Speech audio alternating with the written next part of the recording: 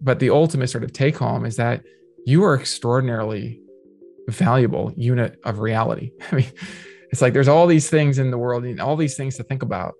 And one of the most familiar things is yourself. And sometimes we take for granted the things that are familiar. Um, but I take it that consciousness really points to the significance of who you are and your powers in the world.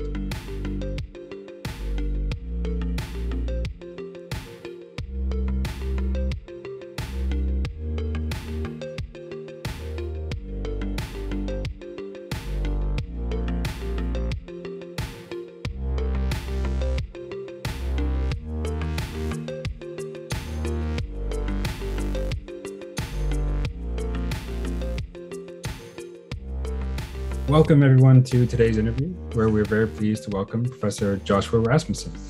He is Associate Professor of Philosophy at Azusa Pacific University, and his research focuses primarily on metaphysics, necessary existence, theology, truth, and a number of big and related topics. His books include Defending the Correspondence Theory of Truth, Necessary Existence with Alexander de Pruss, The Bridge of Reason, 10 Steps to See God, How Reason Can Lead to God, and he's got the best explanation of things with Felipe de Leon. Um, feel free to add anything to that. But um, with that, welcome and thanks so much for being here, Professor Rasmussen.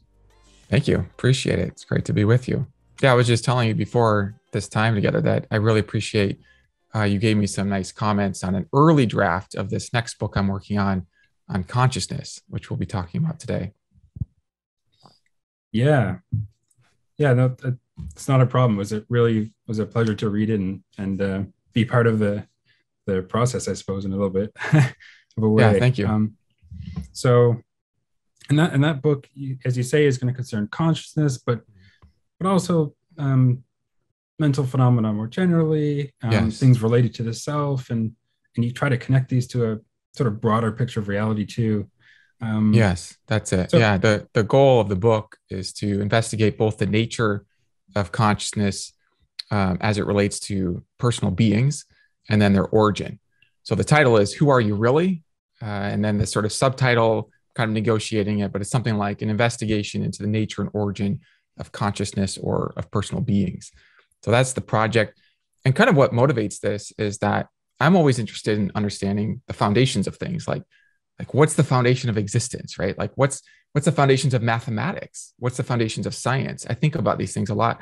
I even think about what's the foundations of relationships. My wife and i talk about these things uh, psychological foundations. And so when it comes to consciousness i sort of think of consciousness as acting as a kind of personal window into the nature of reality. You sort look within and you can see thoughts feelings emotions and it's kind of a window into elements of reality and I think this window then can help us to think about sort of the foundations of consciousness and how it relates to reality. So that's kind of my big project there. Yeah, that's that's a great description, and I think I feel like that really comes through. And and I had another sort of general question about the um, about the book, and um, so a couple months ago I interviewed Larry Temkin about one of his upcoming book. I think that's coming out in a couple months.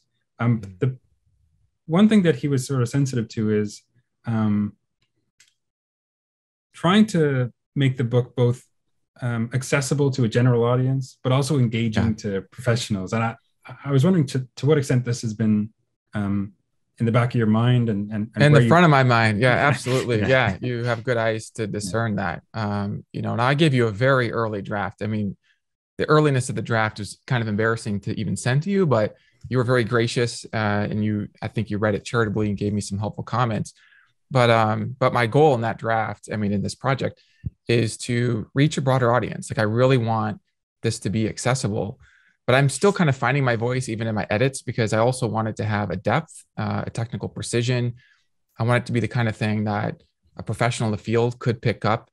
Um, i've got some of my own original research on the, the counting argument with respect to thoughts and I've got some original analysis of some of these things. And so I do want somebody who's familiar with the field to feel like they can read it and get some gems out of it and it can help them, it can serve them, but also in a style that like anybody can come in and sort of own their own journey in a way. This is one of the other goals that I have for the book is I want the reader to feel like they can have tools that they can use. And I talk about several different tools that they can use to investigate things from their own perspective, by their own light. So I'll point to relevant science, but there's always this question about how you interpret the science. And I want to show how you can use these tools to investigate consciousness, investigate the science, and analyze the science kind of by your own analysis. So yeah, it's it's it, I am trying hard to have it reach that broad audience without loss of precision. It's similar to my book How Reason Can Lead to God. That book I had two general um, people in my mind. One was kind of my former self as like a college student, and then another was a professional in the field. And even as I was doing the edits for that book, I would do a layer of edits while thinking about the college student. And then I would come back and I'd do a layer of edits while thinking about the professional. And so that's kind of what I'm doing now um, in this consciousness book. I'm having both people in mind. Yeah, yeah, that's that's very good. I think that's um, I think that's starting to come through as as your as a, as the uh, as it's coming together. Um, and one thing you mentioned there was sort of the uh, the tools that people can use, and um, that's something you talk about early on uh, in, in, in, as you're introducing and sort of setting the stage. And I thought this was a, a really way, good way to go about it, right? Like, um, like okay, what are the how are we going to go about this project? What are the things, sort of things that we can appeal to, um, like reason, like introspection, and, yes. and, and the scientific method is, are the three main ones you point to. That's right. Yeah. But this general idea of like, maybe it's part of it's about getting on the same page. Like, um, when you're trying to make progress on some disagreement or potential disagreement, mm-hmm. getting on the same page on the tools of inquiry and and certain um, um, sort of background assumptions can be a good way to make headway. So I don't yeah. know, do you want to talk a little bit about about um sort of yeah, tools like, you have in mind here? Yeah, I like how you put that. Um, to kind of help people to sort of get on the same page in terms of how we can even proceed. I mean, it's interesting because in a way, another reason why I want to emphasize these tools, and I'll talk more about the tools in a moment, is that I want to respect the sort of personal journey of the reader. So the reader can read the book and come away with a different analysis than the analysis I come away with using those tools. But I'm trying to kind of model the use of those tools. And I'm inviting the reader to use those tools to think for themselves about the data of consciousness. So, one of the tools, for example, is introspection. This is a tool by which we can sort of look within, find thoughts, find ourselves feeling certain things.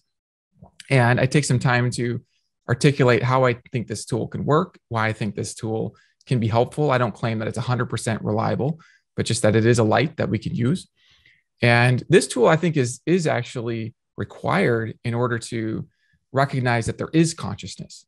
So I do talk about the eliminativist proposal that there actually isn't consciousness, or at least there isn't consciousness of certain types. Maybe there's no thoughts or there's no feelings.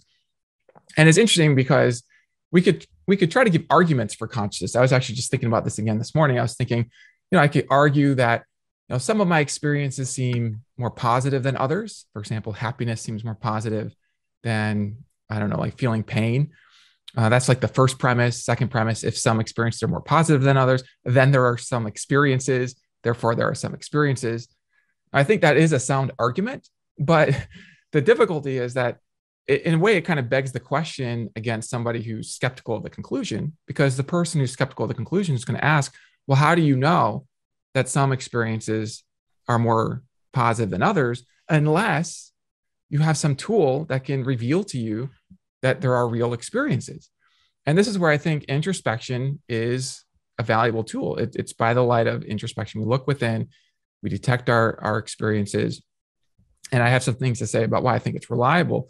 But I think just setting the stage and inviting the, the reader to take up that tool, apply it to themselves. So in each chapter, I'm taking introspection as a tool. I'm trying to collect some data relevant to the inquiry. And there's a lot of data to collect. I mean, it's not just that you have thoughts or, you know, or that you have feelings, but like what are the aspects of thoughts that you can discern using introspection? I make the case that you can focus in on a particular thought. Like if I have the thought that there are bunnies or that there are no bunnies, okay, just take any random thought, focus in on it and, and I make the argument that you can actually discern by introspecting that thought different aspects of the thought, including aboutness, including a kind of structure. There's a structure of concepts or structure of a propositional content within the thought, and you can discern this through introspection. And so, this is a way in which I think we can get started um, thinking about consciousness. It's using introspection. Then, the light of reason is another tool that I invite each person to take up. I take some time to motivate why I think reason can help us to understand consciousness. And that, and again, I'm inviting the reader to use the light of reason by their own analysis. And so in many of the chapters, I, I try to make deductions using reason. But again, I'm inviting the reader to sort of check that, see if that makes sense, or if maybe they have a different analysis. And then the scientific method, I kind of think of that as um, sort of like a general framework or, or methodology for coming up with observations and then coming up with hypotheses to uh, making observations, coming up with hypotheses that we can then see if those hypotheses fit those observations. But again, where do we get the observations from? Ultimately, you've got to use your senses. Introspection is for one of the senses. Um, there's other senses that are relevant. And so I really want to get all the data on the table uh, for the analysis, which makes it hard because there's a lot of data to consider. Yeah, that's that's a very good bunch of very good points there. And, and you and you talked you mentioned briefly about like, well, what could we give an argument for consciousness? Um, or against eliminativism, either about phenomenal consciousness about, or intentionality or something like that. And like my thought is like, well, maybe, but like at the end of the day, we're not gonna, we're not going to convince the skeptic. Maybe not, right? Like, um, there's a game the, you can play. There's yeah. sort of almost a language game, a dialectical game, and and I actually kind of like that game. I think it, it can help reveal kind of what people are thinking, what's at stake. But I mean, I think in the end, there really is this data that I think you get by looking within. And if, if you can't do that, if you can't use introspection to look within, then yeah, I, I'm with you 100%. I think you can't really make an argument um, for consciousness apart from that tool. Right. Um, that, that makes sense to me. Like, and for the for the person who's just going to continue to deny any sort of consciousness, like, I guess I'm just not going to engage in the conversation with that person you know is that sort of what you would say or um, well, I, am not going to say that myself so I, I, like to engage in the conversations um, it, i mean in a sense what i'm going to do is i'm going to try to engage in the conversation in such a way that highlights why i think we need introspection and why i think introspection can help us why it's reliable even if it's not 100% reliable um, i mean it is interesting troy because I was reading uh, Hasker's engagement with the eliminativists in his book on the emergent self. And I thought it was a very beautiful set of chapters where he's carefully going through this sort of dialectic. Um, and I actually kind of follow him to a point in my own uh, discussion of eliminativism as well. And he talks about this sort of argument against eliminativists that eliminativism is self defeating because if you're an eliminativist, you're basically affirming or thinking. Uh, if you're an eliminativist with respect to thoughts, let's say, you're affirming or thinking that there are no thoughts. And so there's this kind of self defeat objection. But of course, this is very well known by eliminativists. And one kind of response, this isn't the only response, is to give an analysis of our talking and of our acting when we're, quote, thinking about consciousness so that we're not literally thinking in the way that people sort of on the street might think that thinking is, if that makes sense. Um, and so you can sort of avoid the self defeat in that way. But then Hasker, I mean, it's interesting because he draws this out and he says, well, okay, so we need to replace our references to thoughts or to affirmations. If you're saying you're affirming eliminativism, uh, we have to replace that with something else that's not literally thinking, it's not literally a mental state at all. But then he kind of has this soft line where he says, well, then I don't really actually know what your replacements are. Um, you know, in your arguments, he sort of highlights these references to mental phenomenon in the arguments against mental phenomenon. So, in order to take these arguments seriously, we need to give translations of all these arguments that don't make reference to mental phenomenon. And he's sort of grasping to understand then whether those translations go through. He's not making sort of an in principle argument that there couldn't be translations, but he's just saying, as far as he can see, the translation project has not been um, successful or he, he himself doesn't know what's being said then. I kind of appreciate that sort of modest uh, approach. I think that is a way of playing the game in a way. Um, but in the end ultimately i do think that really to make progress here we have to actually just recognize that there's this tool we have to see within uh, and so then, then I think the next stage is to consider whether that tool is reliable. So sometimes there's arguments against the reliability of introspection. And sometimes those arguments first try to show that's not 100% reliable. And I like to make my argument without assuming 100% reliability. Um, but then there's arguments about whether it could be reliable to any degree. And my problem with those arguments is I do think those are ultimately self defeating. I think you actually do need to use introspection to be even aware that you're making scientific observations, to make, be aware of your own analysis of those observations. So any argument against uh, the reliability of introspection to any degree is going to ultimately be self-defeating. So that, that's probably more than what you were asking for, but that's a bit of an analysis of there for that. Yeah, yeah, no, that's good. Yeah, because any any um, any argument to the conclusion that our introspection or um, perception is like generally or perhaps universally unreliable is just going to undermine the very argument to that conclusion in the first place, right? Is that kind of the thought there? Yeah, it, that does seem right. Yeah. Yeah. Um, yeah, that's that's really good. I I was thinking about um, because a few months ago I talked with with Keith Frankish, and he's sort of uh, eliminativist about qualia, but yeah. um, what he would reject is this more robust notion of qualia, and maybe yeah. he, he doesn't want to deny that we have um i don't know some sort of experiences and some sort there's some sort of mental phenomena going on there in some sense and yeah but it gets me thinking of like well what is it to be like mental phenomena or mental mm-hmm. well it's hard to give a general account but i don't know the sort of stuff that i'm aware of right now right? the, the experiences the experiences the yeah thoughts and so on um um that's the sort of thing that can't bring myself to deny, almost as a Cartesian sort of way. Um, mm-hmm. And uh, yeah, it seems like you're saying some of those similar things. There. Yeah, yeah, I'm with you on that. Yeah, and, and that, and I just want to be careful. That isn't to say that I think that um, one can't sort of rationally defend another model here. I think there we can learn from exploring other models. And so, like I said, I'm happy to sort of play those dialectical games and not just to play a game, but also to really see what else I can learn. And I think oftentimes what it what those projects do is they help to sort of make help us to see distinctions between different maybe understandings of consciousness. So probably we're going to talk next about sort of what is consciousness? If consciousness is real, like what is it? And I think that this sort of talk about whether consciousness is real ultimately kind of helps us to distinguish different theories about what consciousness would be if it were real. Because I think that's part of the problem is that there's sort of ideas about what consciousness would be if it were real. And then there's maybe arguments against the reality of those things. And that can then lead to eliminativism.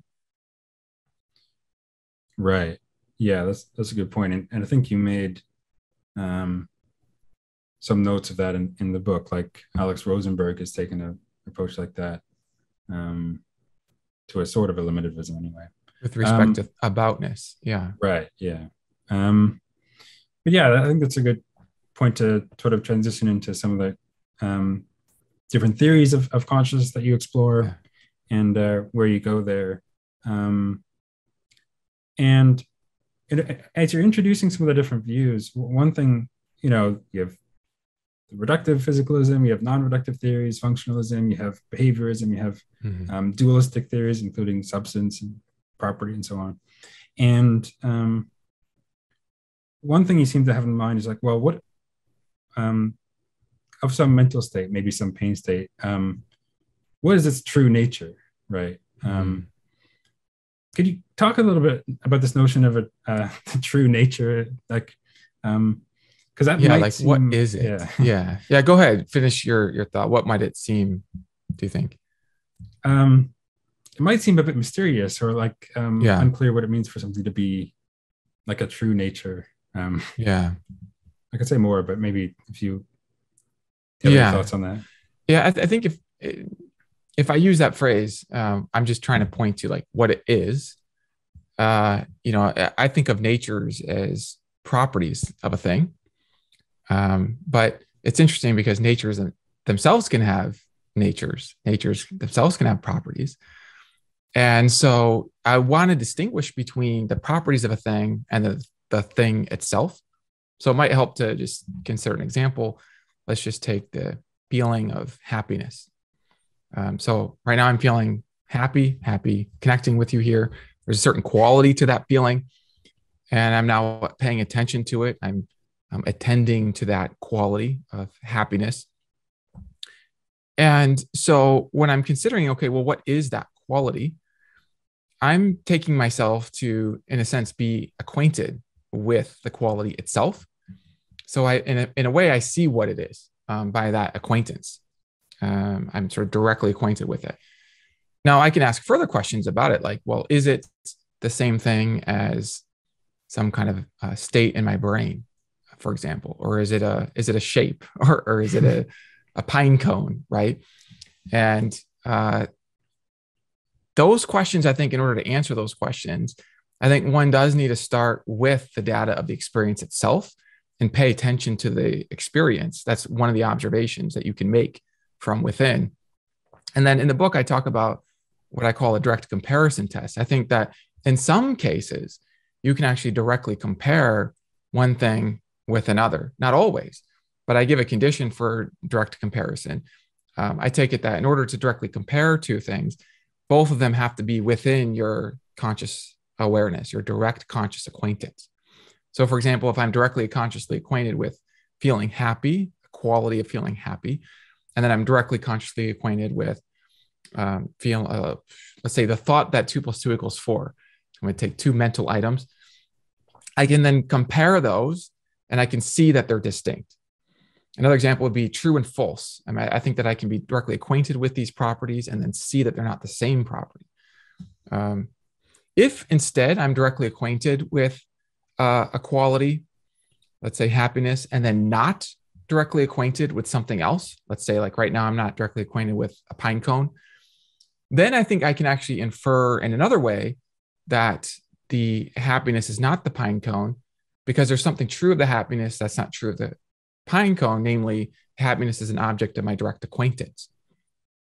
And so, in this way, I, I think we can use the direct comparison test to remove, uh, sort of in that early chapter, one of my goals to remove certain theories of identity. And I'm inviting the reader to just use their own light and consider okay, am I directly acquainted with triangle? Uh, am I directly acquainted with happiness? If I am, I can compare them. Um, if I'm directly acquainted with happiness and I'm not directly acquainted with triangle, well, then, because I'm directly acquainted with happiness, and that's true of happiness, I'm not directly acquainted with triangle. So it's not true of triangle that I'm directly acquainted with it. Then I can then also remove the identity of happiness with triangle. And then you can sort of anticipate how by using this method, maybe we can arrive at some more significant um, results in terms of carving away certain identity theories. Right. Um, which yeah, touches on on your comments because your comments were just very wonderful in that you're sort of sort of what I see you doing is carving um, space for the identity theorist in light of my tests, right? So we could possibly talk about that at some point if you want. Yeah, sure. Um, I found this part very interesting, if a bit um, um, maybe I found room for for some pushback anyway. Yeah. Um, but like, um, the first concern someone might have, I probably would have when thinking about the direct comparison test is, wouldn't the only things we could directly compare be one experience to another or some number of experiences? Like, in, in what sense could we? Uh, I mean, I guess thoughts if those aren't strictly speaking experiences, but we're directly linked with them. Um, I think what else can it, we compare? Yeah. Yeah, I think it's going to depend on your analysis of an experience. So I take it that experiences have contents. So like there's a perceptual experience right now that I'm having of this room and the screen, and that perceptual experience has contents um, of the experience. I don't really think of the contents of the experience as themselves experiences. I might think of them as contents of the experience. Or another example would be let's say the proposition that two plus two equals four. I take that that the proposition that two plus two equals four is a content of my thought that two plus two equals four, but I don't take the proposition itself to be an experience, even though, and here's the point, even though I believe that I'm directly acquainted with the propositional content. Um, same thing with the perceptual contents. I take myself to be directly acquainted with the perceptual contents, and um, and that acquaintance doesn't require that the contents are themselves experiences.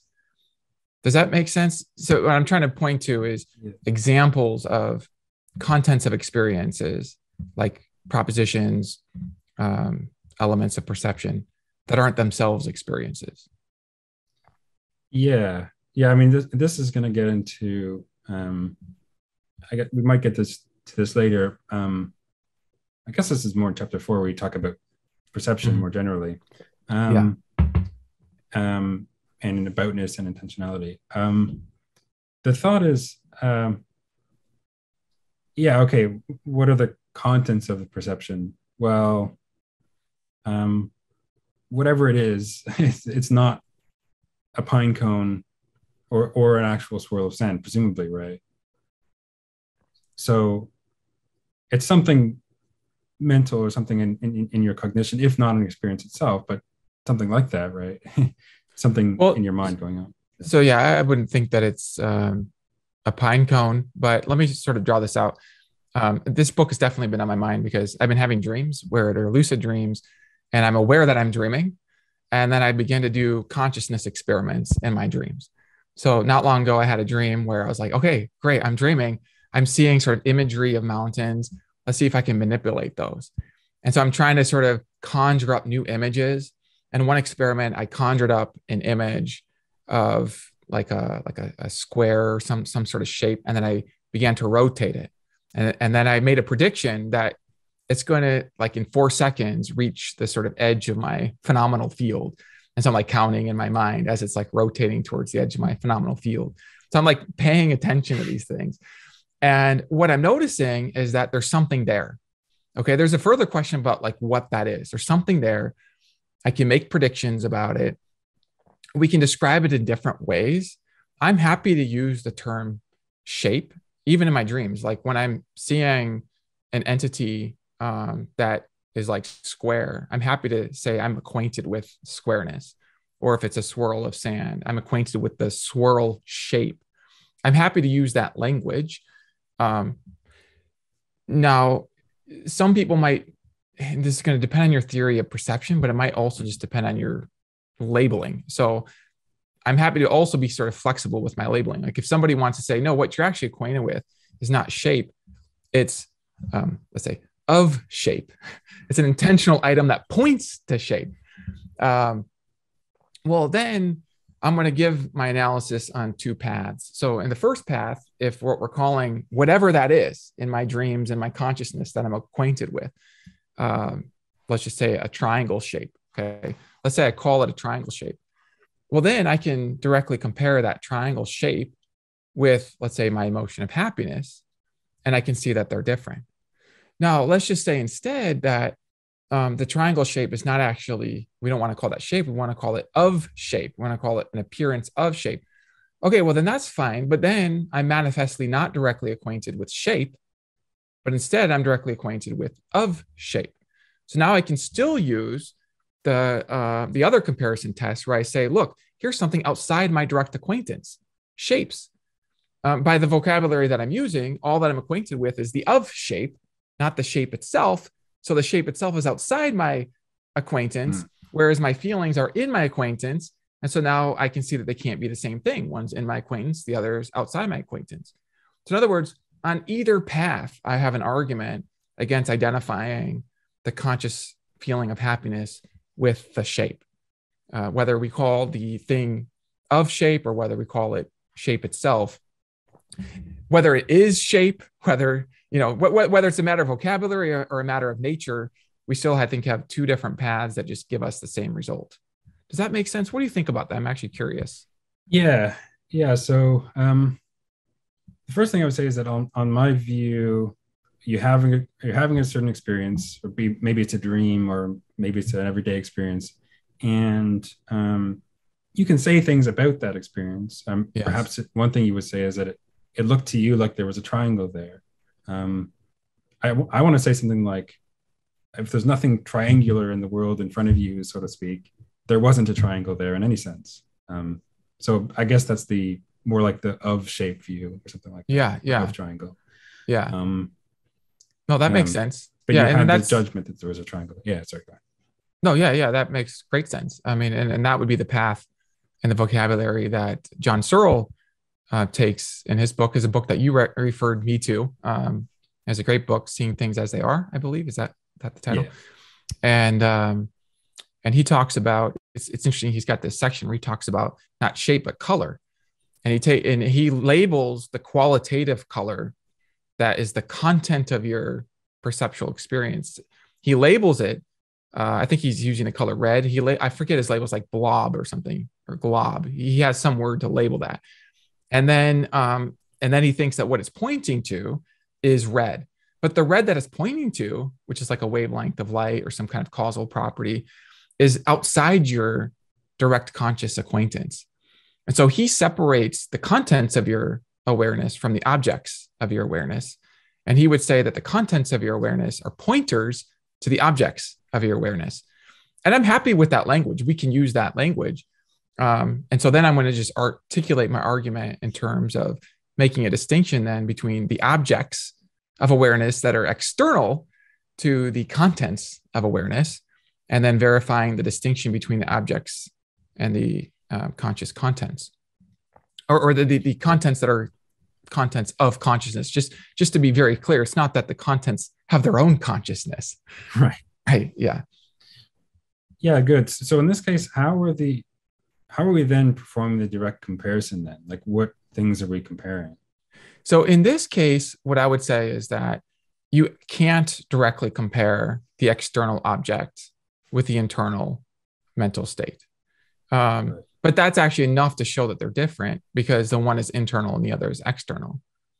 So it's kind of a different argument. It's just saying, you know, it's kind of a law of non contradiction here. It's like if, if something's internal to your conscious acquaintance, then that which is not internal to your conscious acquaintance can't be the same thing as that which is internal to your conscious acquaintance. Ah, uh, I see what you're saying. Right. So, okay. So if they were the same, then if one of them is accessible by direct acquaintance, then the other one would be too. Yes, absolutely. Yeah. Yes. Um, so I want to say, okay, this is going to turn on exactly um, what it means to be accessible by direct acquaintance. And I think this is something you go into. Uh, you talk about the water H2O example in, in the book. Um, if, because I want to say something like, um, well, of course, my mental state is um, accessible by direct acquaintance.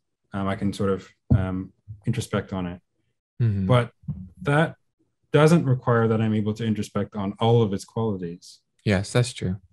Well, but wouldn't that so take some quality that it has that I'm unaware of by introspection? Yeah.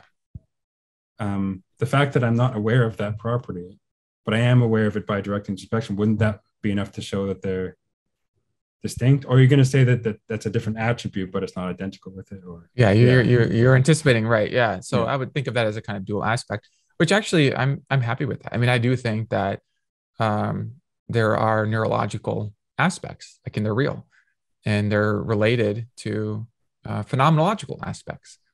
Of course there are deep questions about how they're related um, but I, so I'm, I'm sort of going slowly step by step. Consciousness is real here are some identity theories that I want to remove. And I actually think that you could probably follow me along this path to a point, you know, um, and may- maybe you could even follow me along enough to enough of what I want to say in the book for my my broader purposes. Um, because my broader purposes, you know, I'm not just ending with the nature of consciousness. Um, I'm talking about what's the thing that has the consciousness and what makes that right. And and even if there are aspects of consciousness uh, that can be characterized in terms of neurological states, and which I think is, is true. Um, I, do, I do think there are neurological states that can are deeply related to consciousness, and you could even say that there are aspects of consciousness. Um, that's still going to leave on the table these deeper questions about how you assemble a conscious being. Yeah, yeah, very good. I, um, our time. I feel like that is that. I feel like we, we were kind of making good progress here in terms of distinguishing some of these yeah uh, issues here. For sure. Um, uh, we could talk about that a little bit more, or there's a lot of other things that I, I want to get to. So um, totally up to you. Um, but this may come back up because um, I, I guess it's sort of yeah. So I think we could talk a little bit about um, I think this is the third chapter where you go into talk about thought and um, and you talk about the um, counting argument. But actually, it's a sort of series of arguments now. Yeah. Um, and uh, then the version, I think it's the third version that you present here is sort of a, a new version. Um, yeah. Do you want to sort of talk about that briefly? Or? Uh, well, I think it might be helpful to sort of lead into it here. So, um, one random morning, I think I tell this story. One random morning, I'm having a bowl of cereal. I think it was Rice Krispies. and I was just like thinking about consciousness. This was early in graduate school. And I had this picture in my mind of a sort of mountainous landscape representing material states. Um, and those states could be rearranged in different ways. And then overlaying the mountainous landscape, there was a kind of conceptual map about the mountainous landscape and this conceptual map would signify thoughts. And it sort of just occurred to me, sort of in the seed form, that there are more ways of combining thoughts by logical relations, like or or and. Well, how do you even know there are logical relations? Well, this is one of those things you got to use introspection. I mean, logic itself can't even get off the ground without these logical relations. And we only know about them, I think, just by introspecting thoughts and seeing the logical relations between contents of thoughts, between propositions. And even if you look on a page and you have sentences, we have to interpret those sentences. And so I take it the sentences express propositions, which are contents of thoughts. So, in any case, there are different theories about how this works, but you can see these logical relations in your mind. And so then I had this idea that if there are more ways of combining thoughts by logical relations, then we can argue that there can't be a reduction from thoughts to material brain states. There can't be a one to one relation. And so this ultimately gave rise to a series of counting arguments, uh, where first I made the argument that there can't be a reduction from um, all kinds of mental properties, specifically uh, aboutness properties or thought properties, and then material estates. And then there were some iterations where I began to see how this actually has ramifications for the origin of thoughts. And my latest published iteration in an article, How to Build a Thought with Andrew Bailey, is one where we deduce, I would say, some very surprising consequences from some initial, could, we call them axioms, um, but sort of initial um, statements about thoughts and how they can be about other things. And one of the things that we deduce is that we can't, it's like if there are more thoughts than brain states, more possible or conceivable thoughts than possible conceivable brain states, then there's a problem with having a one to one, not just identity, but also uh, derivation from. So you, for each thought, you can derive that thought by a unique brain state that determines it. Now the argument is actually very technical. I don't have it memorized. I mean, I had to go through step by step to make the deduction. And let me just say, the the deduction was so surprising. One of the early uh, referees, they so it took some time to get that proof verified and worked out. But one of the early referees said that they would be so they, they thought it was so significant, they didn't think it could be proven. Um, and then and so they rejected the paper. they, they, they, didn't think it could be proven. So then we got the proof checked. We tightened the proof. There were some technical things that needed to be worked out, and the ref saw those.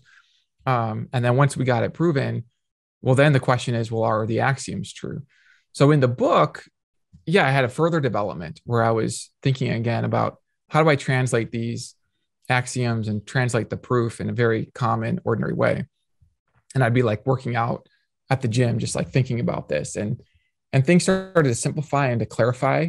Uh, and so that's where I came up with this sort of final iteration in the book, where those axioms are ones that I think that you can support them by inspecting the nature of thoughts. Um, so I'm gonna have to look again at, at the axioms. I think one of them yeah. is that you know if if you have uh, the, the, sort of the identity of aboutness. So like if you have um, thought A and thought B, if they're identical thoughts, then they're about the identical things. Uh, at least the internal contents of the thoughts are identical. If they're identical thoughts, then they're identical things. And that would be like one of the axioms, which you might even think follows from the law of non-contradiction or law of identity. Um, and then another axiom, which is critical, is that um, for any uh, non thoughts, uh, there can be a thought about those non thoughts. At least there's no sort of logical inconsistency in defining a thought about those non thoughts.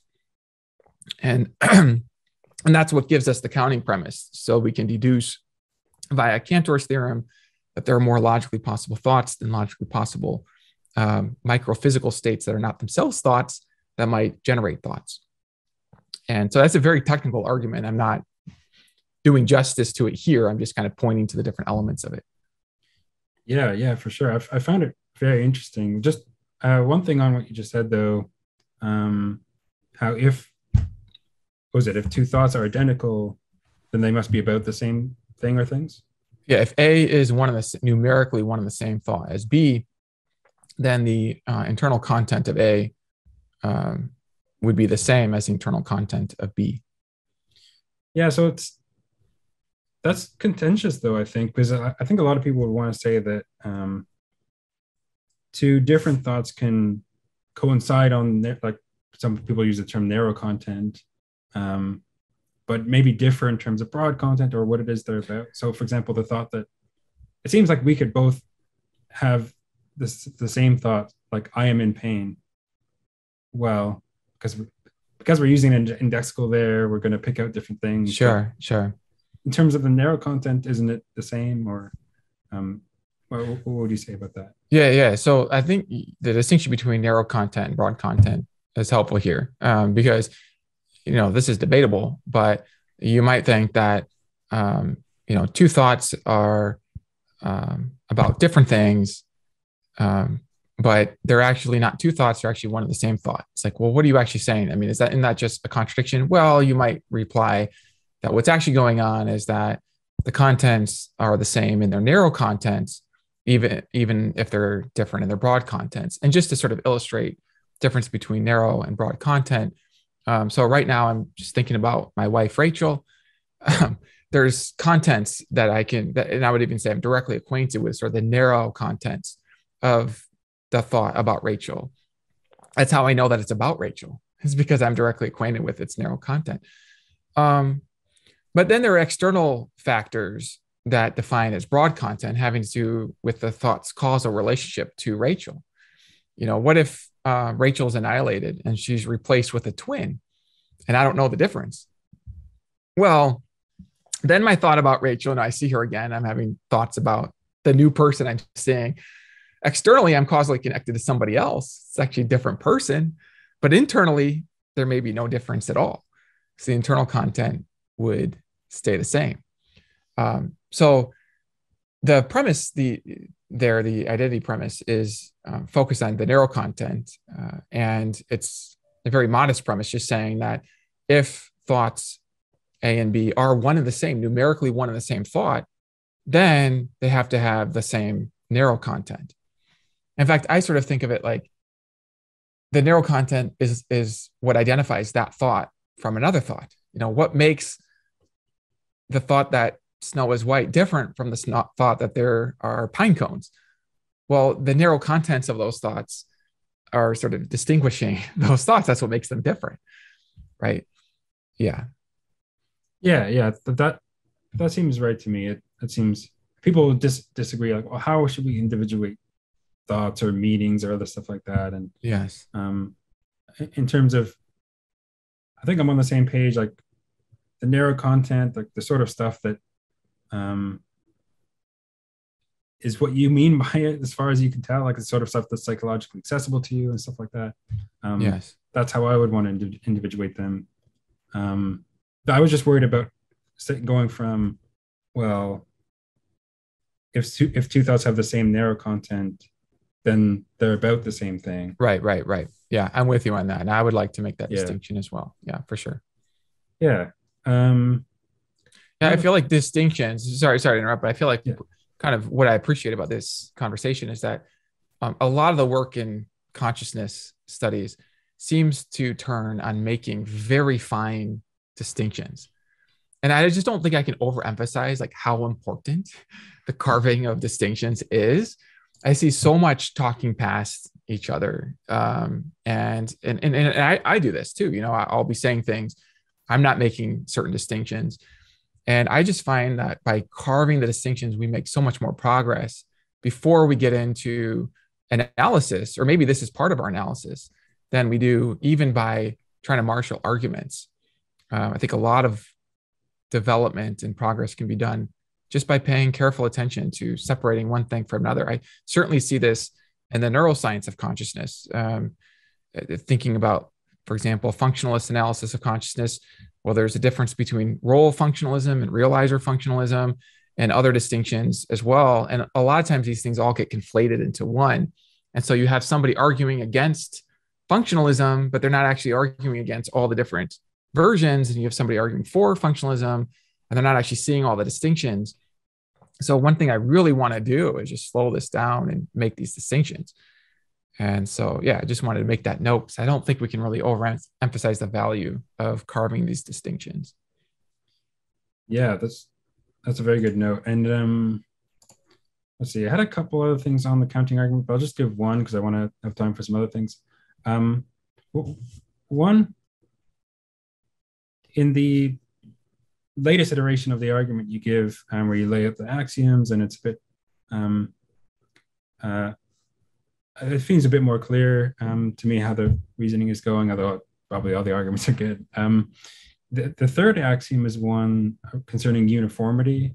Yeah. You try to argue from essentially trying to bridge the gap from, okay, thoughts aren't necessarily material states to therefore they they're never they never are material states mm-hmm, mm-hmm. Um, and that i found a little bit contentious i mean because it's going to depend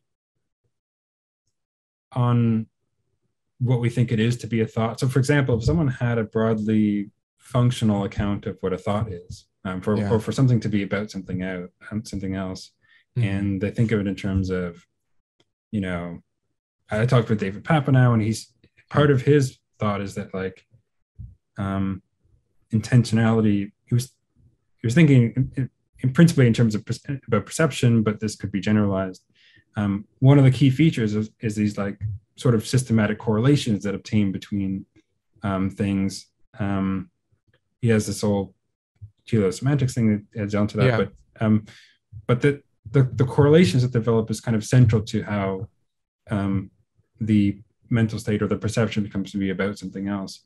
Yeah. And maybe this would have to be developed further, but if someone had this sort of view and thought that, okay, um, different sorts of things, be they material things or non material things or whatever, could in principle come into those relations.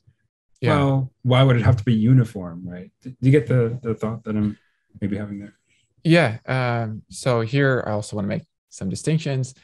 Um, let me just kind of tell you how I'm thinking about it, and then you can sort of come back and see how this connects. Um, so I, I'm, I'm sorting some different thoughts. So one thought I was having was just kind of a stray thought was that I don't actually think that functions themselves are material. so, you know, um, which is okay for uh, materialism broadly speaking, but I think of functional as functions themselves as analyzed in terms of uh, propositions or ordered sets, which we can understand actually, I think, in terms of propositional entities, which are themselves contents of thoughts.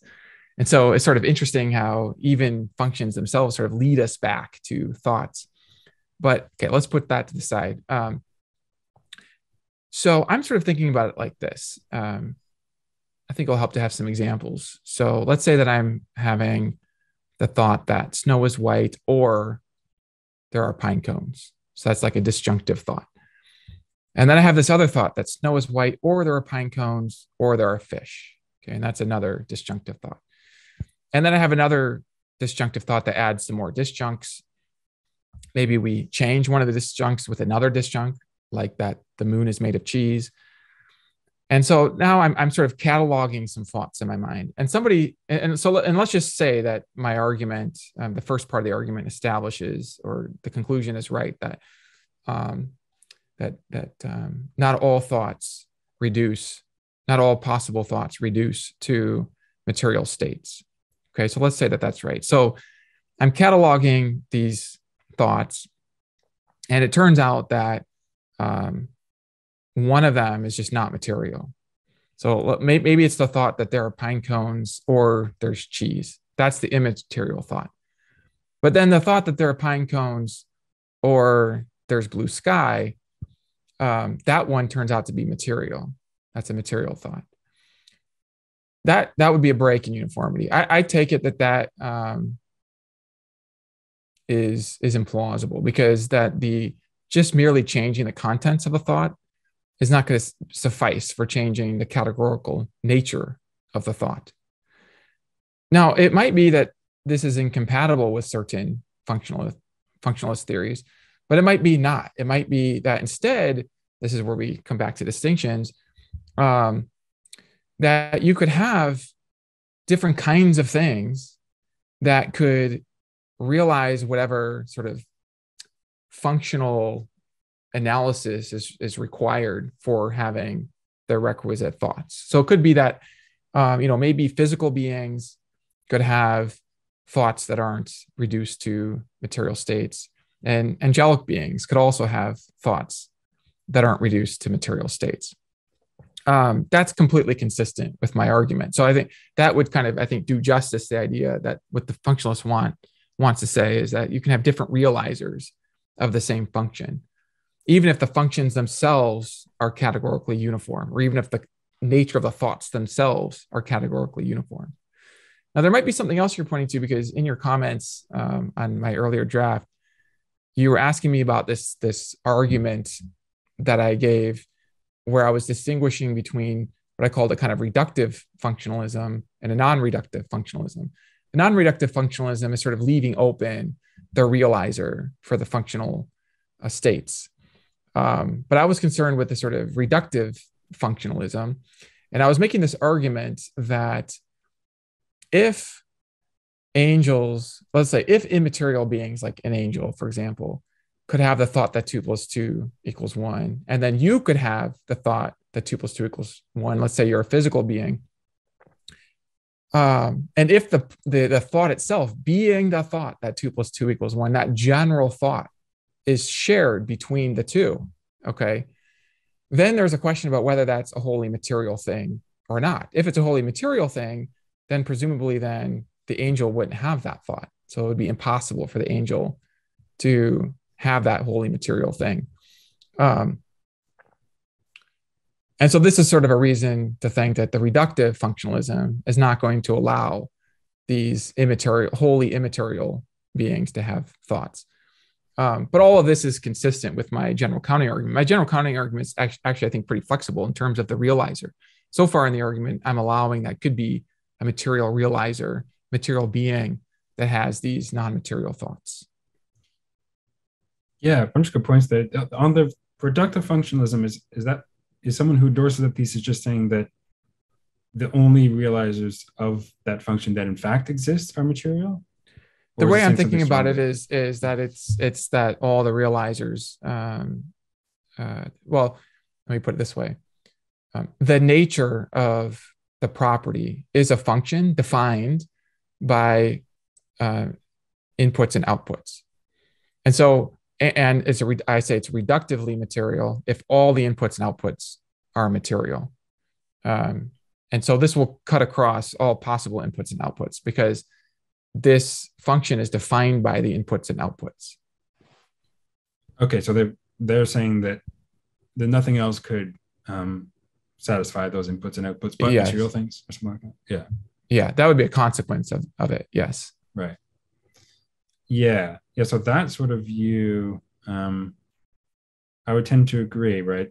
If the nature of um, the notion of thought, even if it's a bit um, a bit vague, we have some sort of criteria in terms of content and so forth.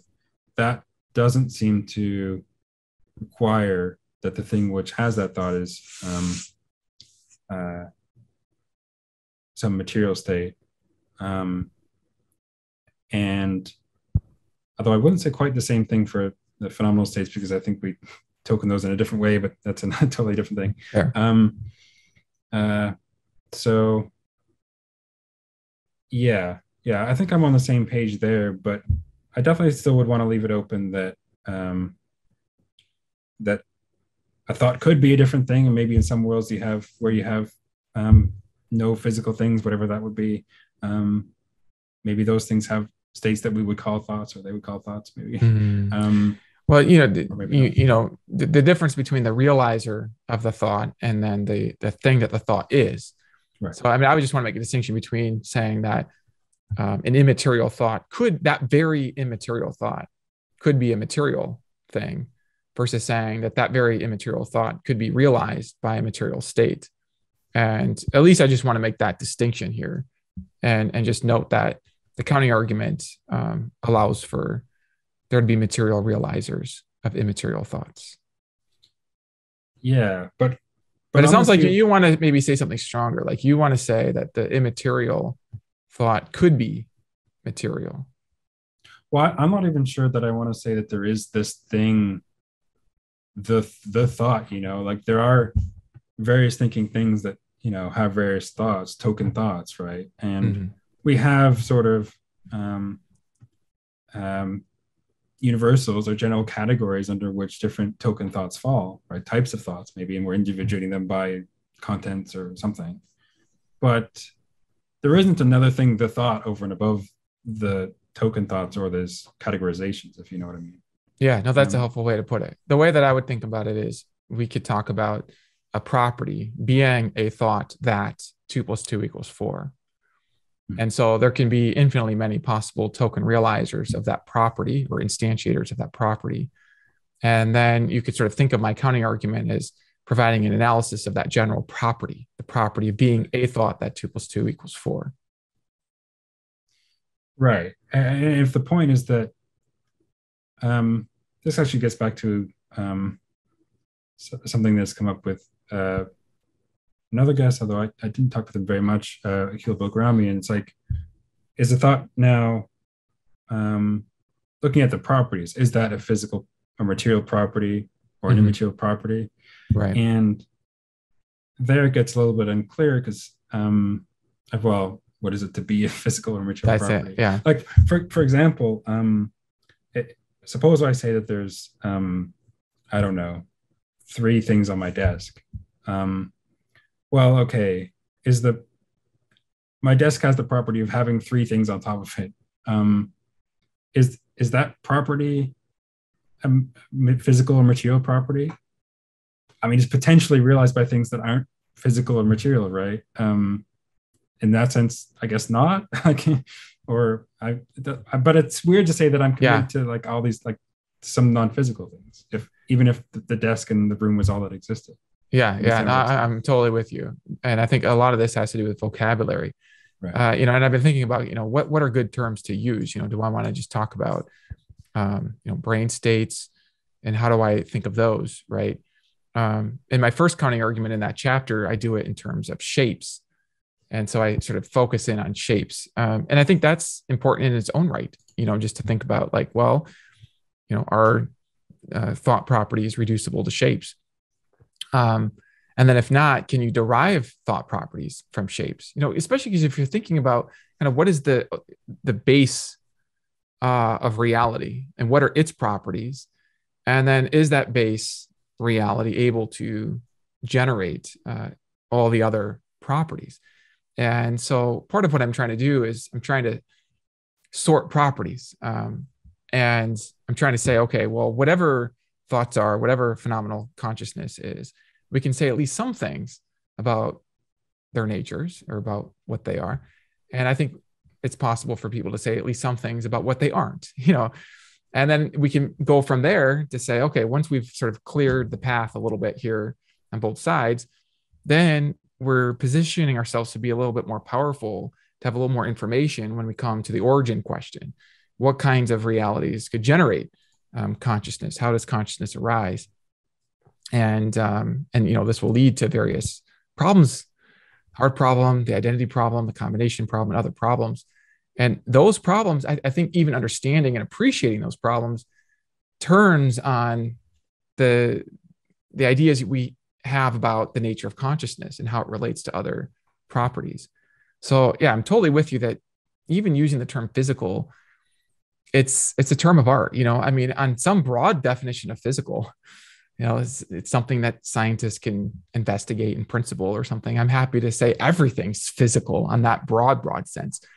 Um, but once we get a little more precise, especially when we get precise in ways that are relevant to our questions about consciousness, then I think that we can make some progress by well, you know, one thing that I do in the book, and this this has been something in, in my more recent drafts that I've emphasized is instead of even talking about material things or physical things, I talk about mindless things versus mental things.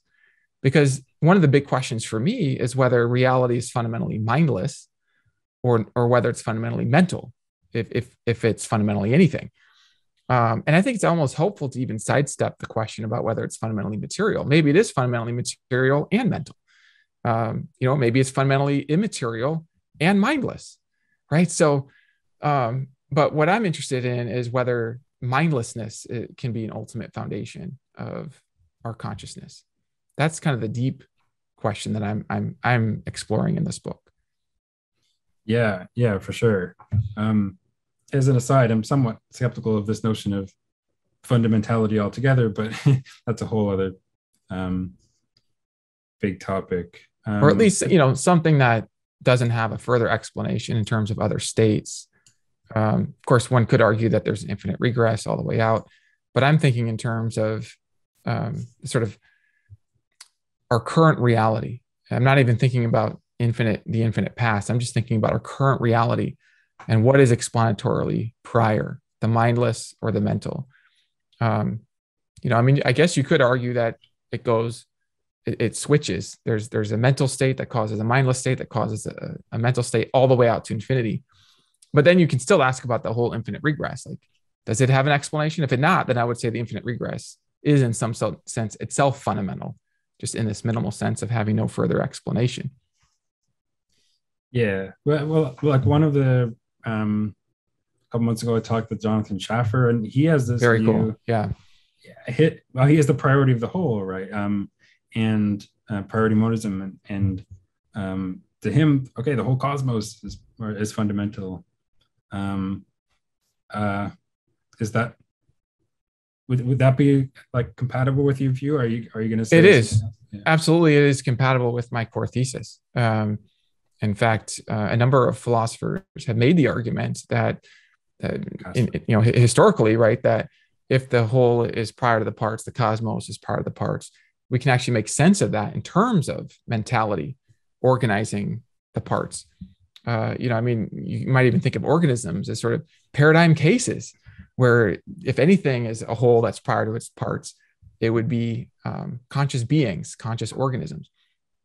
And so, although my theory doesn't sort of require uh, Schaffer's priority monism, I'm happy to take it on board in the sense that's fully consistent with my core thesis. Yeah, yeah that's a good. And that sounds very, maybe that's similar to um, uh, Bernardo Kastrup's view. I think you're familiar Yeah, that's right. uh, his sort of idealistic view. And um, uh, I was going to say something else, but it's slipping my mind. And it doesn't have to be in terms of idealism necessarily. It's just the sort of fundamental mentality thesis that mind is sort of fundamental to reality and then everything else can be explained and derived in terms of mental operations and yeah that that's consistent with a wide range of options including priority monism panentheism pantheism classical theism um, even panpsychism um, and so i think it's it's helpful to sort of see that there's like this core question about like which is prior, like the mindless or the mental, and and then to sort of think about a range of options within those two those two broad options. Yeah, yeah. I've thought of what I was going to say. You you mentioned um, how the the mental being a, a, good candidate for something where the whole is prior to its parts in some way yeah. or determines its parts. And that's something I think you talk about um, to some extent on the in, in a section on on personal identity um, as well yes. later on. Yeah, pretty much all we've been looking at is, is the first section of the book. Uh, anyway. Yeah, yeah, So the first section, just for the audience, is devoted to sort of the nature of you. So what are what are the elements of of, of you? You've got thoughts, feelings. Um, talk about your value. Talk about free will, which I guess we'll talk about that in a moment. Um, and then the second section of the book is about the the origin of you, like what kind of uh, materials could produce such a being as you. And so that's how I divide the book.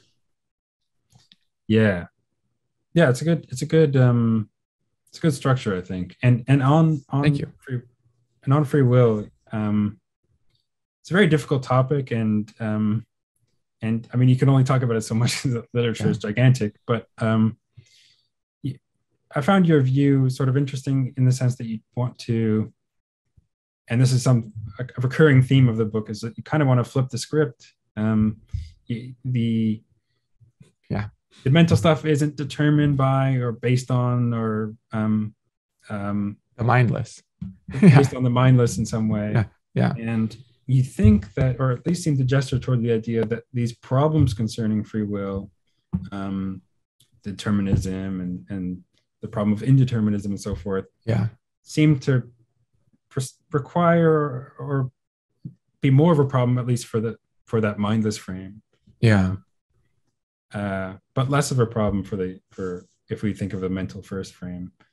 Um, it wasn't exactly clear to me how it would be less of a problem because we could still ask, well, okay, it's it's mental, but is it determined? Is it not? Like sure, there there can still be questions. There could be threats to free will. For example, if it's determined, and if you think freedom requires indeterminacy, that will still be a threat um, to freedom, even if the mind comes first.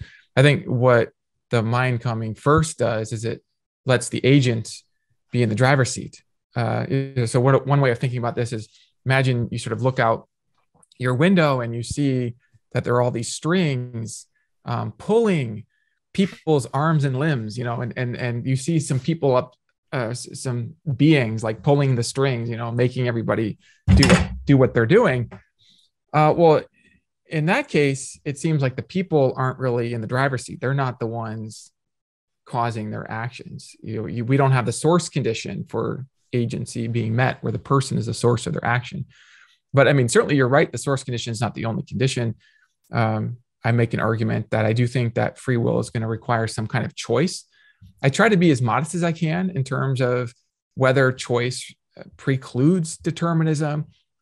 Um, but I do think that one can then use introspection and witness oneself uh, making choices and doing things. And so, and I take this evidence very seriously. This follows this sort of theory of perception, the window theory of perception, which is that I take it that at the core of our ability to perceive things is this power of acquaintance, where we can actually, through a sort of window of acquaintance, see some aspects of reality, at least aspects within ourselves and I take it that one of the aspects within ourselves is our ability to form intentions, to, to think, hmm, what do I want to do? And then form an intention and then act on that intention. And so I think that if mindless things, or even if minded beings were pulling the strings on my behavior, um, then I would be a puppet of other things external to myself. And so then I wouldn't be free. Yeah. Yeah. It's a, a lot of that makes sense. I mean, the way the way I tend to think about it, at least roughly, is that I don't know. There's there's different things that we might mean by free will, and I think sure. a lot of the time people are talking past each other. But minimally, at least, like okay, you have some um, deliberation, you have some intention that forms, you act on the basis of that deliberation intention. That seems yes. to be enough to me, right? That's enough for something good. Yeah. yeah. I'm with you there. Yeah. I mean, if some people wouldn't want to call that free will, or at least they want would want to make sure. Well, okay, were there genuine alternative possibilities? Were the right, ultimate right. source of your act? You know, um, I maybe, um, and to the, to some extent, I would want to maybe I'm say that I'm just just uh, having a verbal dispute with those with those people, but yeah, um, I don't know. I seem to think about this those sort of things as, in the general case at least, sufficient for for for a free choice. But I hear um, what you're saying. So what what you're suggesting is that uh, the sort of principle of real alternative possibilities, as well as even the real source condition, may not be sort of essential to sort of your sort of core notion of of, of free will. Right. Yeah. And some people would want to say, okay, that's too weak of a core notion to yeah, yeah, for what we want out of it. But yeah, and that may just be a verbal dispute. I mean, sort of in the end, the question that I have is, uh, whatever we want to call it, like, um, you know, are we a source of our actions? Like, do we make decisions? You know, is that true? And if that's true, is that something that we can sort of witness ourselves do? Is there any evidence for that? Um, and so those are the questions I'm trying to address in that chapter. I think you know, you're right that kind of my my big take home is not that indeterminism is true or that determinism is true or that free will.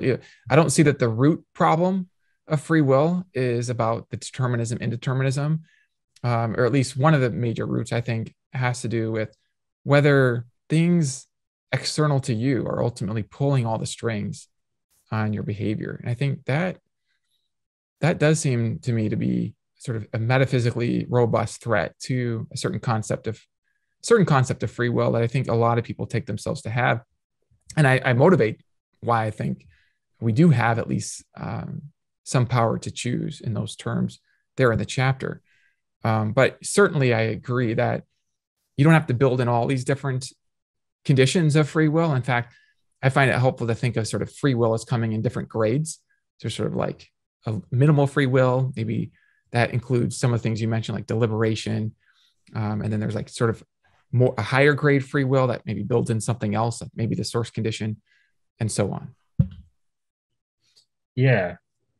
Yeah, that's a good point. And then the question is, you know, what do we have and which versions are the ones worth having? Um, worth having, yeah. That's a phrase. um, uh, yeah, so there's a few other sections in in the um, a few of the chapters in the first section of the book. I know you talk about value, but I did um, I did actually want to talk about uh, your approach to perception and the way you um, sounds good. Uh, the options you sort of survey, and then the the, the, the conclusions you sort of come to. Um, this kind of ties back to some of the earlier things we were talking about, and um, you end up describing your view as a sort of um, a, a, sort of window, um, external window um, that we have to the world. can you get into a little bit of how that um, how that view works? I, yeah, I call it the window theory of perception, um, which is minimally the idea that we're actually able to see things. Okay, and I'm using the term see in the broadest sense. Um, that we're able to gain information about aspects of reality. Um, this is sort of in contrast to a complete phenomenalist uh, picture where you only see things as something else. Um, so let me just draw this out a bit. Um, so let's say that I look out the window and I see the sun, and the phenomenalist would say that actually, uh, what I'm actually seeing is sort of a picture in my mind and seeing that picture in my mind is sort of my way of seeing the sun. Um, this won't be Searle's view. Searle will say, no, I am actually seeing the sun as an experience. But the phenomenalists are, will go further than that. And they'll say that what I'm actually seeing is um, something like that's in my mind. And I'm not actually, I don't really have a window into the external world. Um, that may be okay in terms of visual perception but if we take that all the way to the, to the extreme and we say that about like every sense, like including our sense of two plus two equals four, our sense of our own senses, um, then I think we actually close ourselves off from everything, uh, including our own consciousness. And so we're all the way back to the where we started at the beginning of this conversation about how do we you know consciousness is real. So I think at, at some point there's just some basic act of seeing this primitive basic acquaintance with aspects of reality.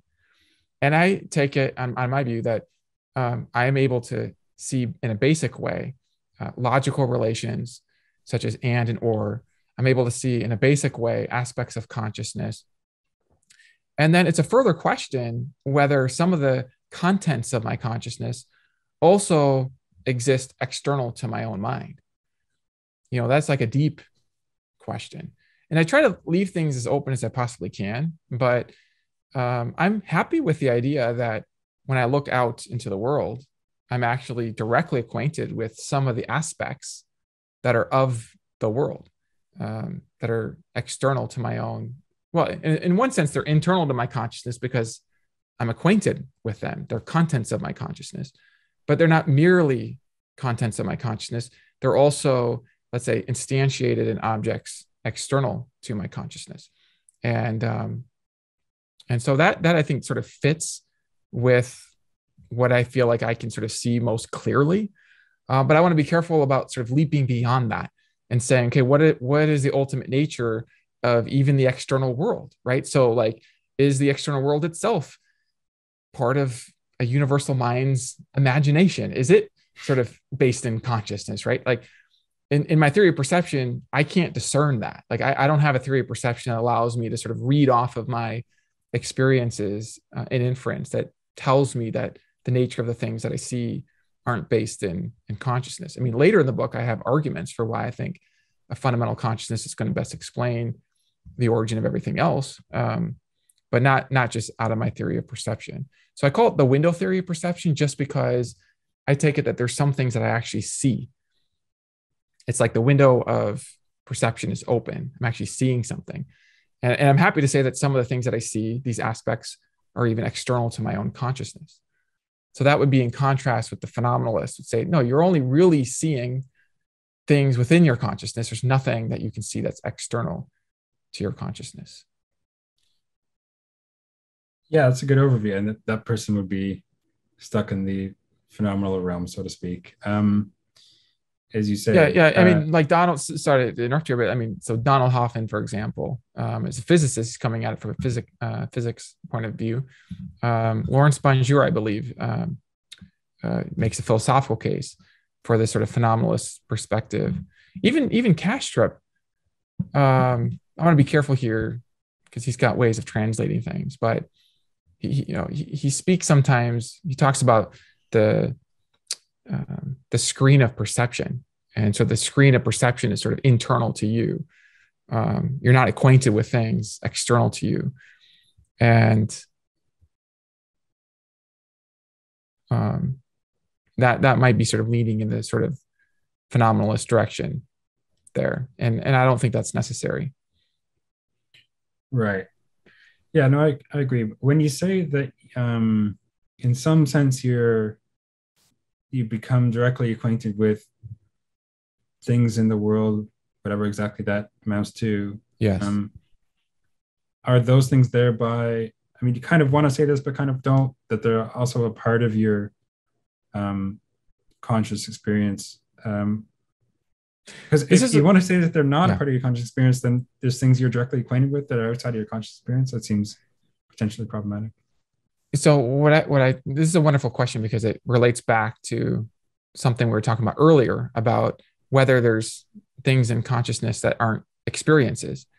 Um, and there, what I wanted to say is that there are contents of experiences that aren't experiences, uh, including propositional contents, um, as well as in perception. I think there are shapes that are parts of my perceptual experience or contents of my perceptual experience. Um, so, in, in a sense, we could say that the the shape that I'm acquainted with is sort of internal to my experience because it's that which I'm acquainted with. Um, but it could also be that at the same time, this shape that I'm acquainted with is instantiated in something that's external to my consciousness. It might be instantiated in a cup, for example. The cup really has this shape that I'm acquainted with in conscious experience. And so that's a way in which the thing that I'm acquainted with in conscious experience could be um, anchored in a reality that goes beyond my own conscious experience, if that makes sense. Uh, yeah, although I want to, on the face of it, it seems like I sort of understand it, but there's details there that I'd want to uh, explore further. Um, but since we're, I don't want to keep you all day. I know you have other things to get to. Um, maybe if we just wanted to um, wrap up, I, I normally ask um, at the end of the these interviews, um, guess what they think the sort of um, general value of philosophy is. But yeah, maybe if you want to take that, that, that same sort of question, but um, as it relates to this sort of exploration into the yeah. this the mind and the self, like yeah, what's sure. worth? What is that sort of project worth? Um, what's it good for?